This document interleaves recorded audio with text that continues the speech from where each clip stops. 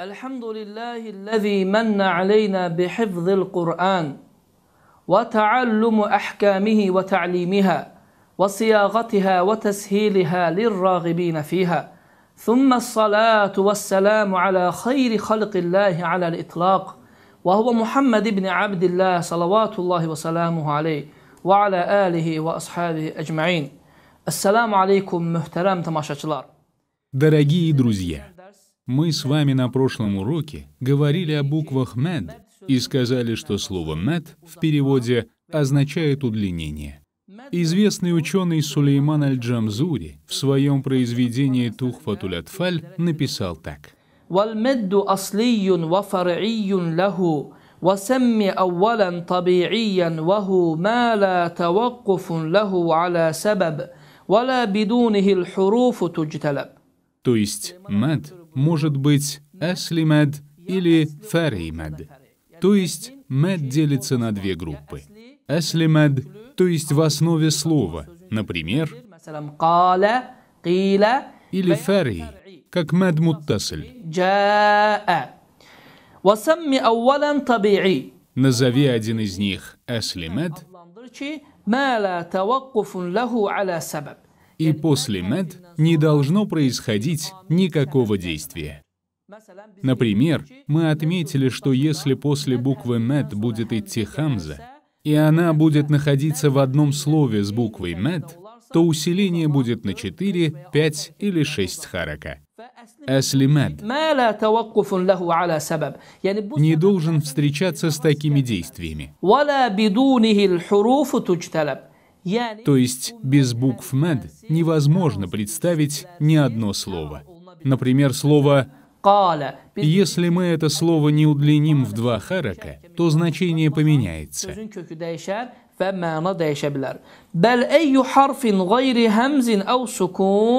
Если после букв мед не будут идти хамза и сукун, то и если таких действий происходить не будет, то это будет называться «эслимед». Еще мы с вами говорили о «меддуль-муттесль» и отметили, что если после букв «мед» будет идти хамза, то такое правило называется «меддуль-муттесль». До него мы говорили о таком понятии, как «мед». Буквы «мед» — это буквы «алиф», «вау», «я». И именно об этом написал Сулейман Аль-Джамзури в своем произведении. То есть у мед есть три буквы. В слове «ваин» есть буквы «алиф», «вау», «я». И, к примеру, слово «нухиха». Здесь также есть буквы «вау», «я» и «алиф» и они удлиняются. Затем он отмечает правило, то есть если перед буквой «я» будет идти кесра, и перед буквой «вау» будет стоять дамма,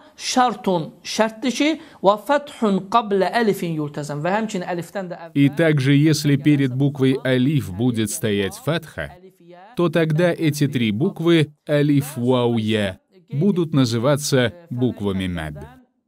И еще мы говорили о том, что есть такое понятие, как маддуль муттасль. Мадд означает удлинять, а муттасль означает соединять. То есть у мадд есть три правила. Именно этот фаримед может быть обязательным, разрешенным или нужным. И на следующем уроке мы поговорим об этих правилах. Fəvacibun in cəə həmzun ba'də məd fi kilmətin və zə bimuttasilin yuad. Если после буквы «мад» будет идти хамза, и она будет в одном слове с буквой «мад», то такое слово можно назвать словом «маддуль муттасль». Приведем пример. В слове «джа» здесь после буквы «мад» идет хамза, и они, «мад» и хамза, находятся в одном слове. И поэтому соблюдение правила здесь обязательное.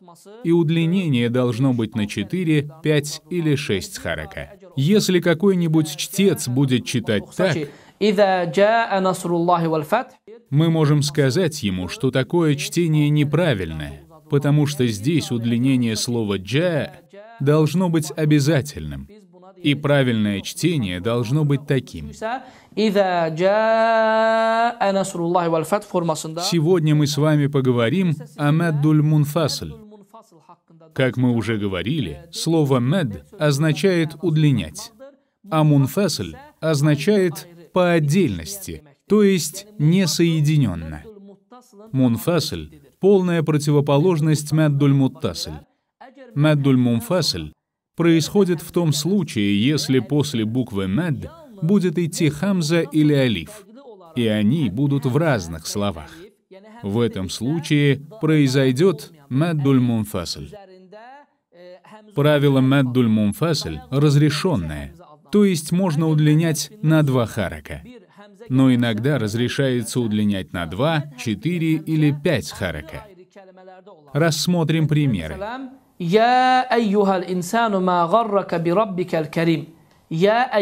Слово «я айюха» здесь в слове «я» есть буква мэнд и есть удлинение в два харака.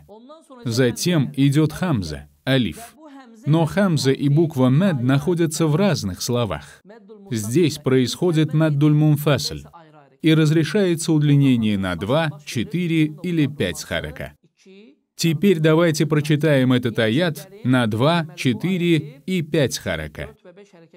На 2 харака я айюхал инсан. На четыре харака. Я айюхал инсан. На пять харака. Я айюхал инсан. Bu formada uzatılması caizdir. Рассмотрим другой пример. Ватубу илаллах. Ватубу илаллах. Здесь после буквы «б» идет буква «вау». И на букве «вау» нет никакого символа. До нее идет дамма то есть буква «Набь». Затем идет алиф. И поэтому здесь происходит правило Маддуль-Мумфасль, и удлинение происходит на 2, 4 или 5 харака. Теперь давайте прочтем этот аят по правилу Маддуль-Мумфасль. На два харака, на четыре харака, на 5 харака. Различие между меддуль муттасль и меддуль мунфасль заключается в том, что правило меддуль муттасль считается обязательным, а правило меддуль мунфасль разрешенное, то есть можно удлинять на два харака. И об этом Сулейман аль-Джамзури в своем произведении «Тухфатуль Атфаль» написал так. Куллум бикильматин вахадаль мунфасиль. То есть правило Маддуль Мунфасль считается разрешенным. Маддум и Гасрум. Гаср — это удлинение на два харака, а Маддум — это удлинение на четыре или пять харака. Если буква Мадд и Хамза будут идти в разных словах, то назови это правило Мунфасль. Может возникнуть вопрос — если кто-то не знает арабского языка, то как же он может различить меддуль муттасль от меддуль мунфасль? Могу сказать, что меддуль мунфасль в 95% случаев используется вместе с алиф. Если после мед будет идти алиф и сверху хамза, то тогда это будет меддуль мунфасль. А если после буквы мед будет идти просто хамза, то это будет меддуль муттасль. И это не во всех случаях. Следующая тема называется «Меддуль ариду лиссукун». Как мы уже знаем, «мед» — это удлинение. «Ариду лиссукун» означает «сукун не асли», то есть не оригинальный сукун или не настоящий. Мы знаем, что если на конце слова будет стоять фатха, кесра, дамма, танвин кесра и танвин дамма, и именно над этим словом будет вакф, то есть остановка, то тогда эти пять харака заменяются сукуном. Например, написано так. Но читая должно быть так. Здесь фатха заменилась сукуном. Следующий пример. Написано. Мы должны сделать остановку и заменить танвин дамма сукуном. Правильное чтение такое. Аридули сукун — это значит сукун, в котором нет основы, асли. То есть во время остановки на харака происходит замена сукуном. То есть во время остановки харака заменяется сукуном. Если мы сделаем остановку на сукуне, и если перед этим словом будет идти буква «над», то есть три буквы «алиф», «вау», «я», и в конце этого слова произойдет остановка, то это правило называется «наддуль аридуль сукун». И это слово мы сможем удлинить на 2, 4 или на 6 харака. Приведем пример. Сура Аль-Фатиха. Альхамдулиллахи Раббил Аламин. На 2 харака, Альхамдулиллахи Раббил Аламин. на 4 харака, Альхамдулиллахи Раббил Аламин. На 6 харака. Чтение в этих трех формах разрешается. Только еще нужно отметить, что смешивание таких удлинений не одобряется. То есть читать первый аят на два харака, второй аят на четыре харака не разрешается и не одобряется. Альхамдулиллахи Раббил Аламин. Ар-Рахманир Рахим. Малики Яумиддин. Например, так. Если вы обратили внимание, здесь в первом аяте мы удлинили на два харака, во втором аяте на четыре харака, а в третьем аяте на шесть харака. Такое чтение не одобряется. Нормальное и правильное удлинение такое. Если кому-то удобно удлинение на два харака, то есть так.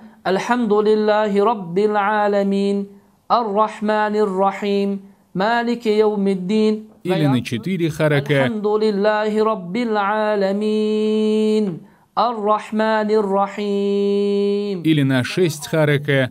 Альхамдулиллахи Раббил Аламин. Ар-Рахманир-Рахим. Чтение в такой форме считается правильным. И именно такое удлинение называется маддуля аридули сукун. Как мы уже сказали, если в конце слова произойдет вакф, остановка буквы, и до этой буквы будет стоять буква над — удлинение, то такое правило называется «маддуль-аридули сукун» и удлинение на 2, 4 и 6 харака разрешается. И об этом Сулейман Аль-Джамзури в своем произведении «Тухфатуль Атфаль» написал так.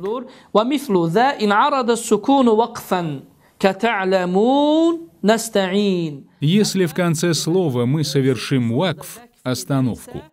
И здесь выполнится сукун, к примеру, слово и здесь он привел примеры на правило «наддуляридули сукун», то удлинение должно происходить на 2, 4 или шесть харака. Следующая тема называется меддуливад. Как мы знаем, слово «мед» означает «удлинять» а «ивад» означает «заменять». Говорили о том, что если в Коране на конце слова стоит фатха, кесра, дамма, танвин дамма или танвин кесра, и на этом слове происходит остановка, то именно здесь харака заменяется сукуном. Например, здесь слово «ахадун» читается как «ахад» или другой пример. Здесь, в слове «алямина», фатха заменяется сукуном и читается как «алямин». Но вот, только если на конце слова будет стоять танвин фатха, и в этом же слове происходит остановка, то в этом случае танвин фатха заменяется удлинением мед на два харака и такое правило называется маддулевад, то есть замена. Танвин фатха заменяется буквой мад. Рассмотрим. Сами'ан. Слово «сами'ан». Здесь над буквой «айн» мы видим танвин фатха. И если в этом аяте в конце слова мы захотим сделать остановку, то это слово будет читаться так. И удлинение мы сделаем на два харака. Посмотрим слово Здесь над буквой «ра» стоит танвин фатха. И если мы сделаем остановку на этом слове, то тогда удлинение также будет на два харака, и правильное чтение будет таким. Рассмотрим еще пример. Здесь также на конце слова стоит танвин фатха. И если мы сделаем остановку на этом слове, то тогда произойдет правило маддуливад, и удлинение будет также на два харака. Следующая наша тема называется маддуль-бадаль. Мад — это удлинять, а бадаль означает менять. Если после хамзы, без алиф, будет идти буква мад, то есть вау, алиф или я, то произойдет удлинение, и это удлинение будет на два харака, по кираату хавсанасам. Например, слово здесь после хамзы идет алиф, и удлинение происходит на два харака. Здесь происходит удлинение на два харака, и такое удлинение называется маддуль-бадаль. Рассмотрим еще пример Utu. Utu. И здесь происходит правило маддуль-бадаль. Как я уже сказал, такое удлинение происходит по кираату хавсанасим, но по некоторым другим кираатам, например, по кираату варш, это удлинение происходит не на два харака, а на шесть. Например, так. وإذا قيل لهم آمنوا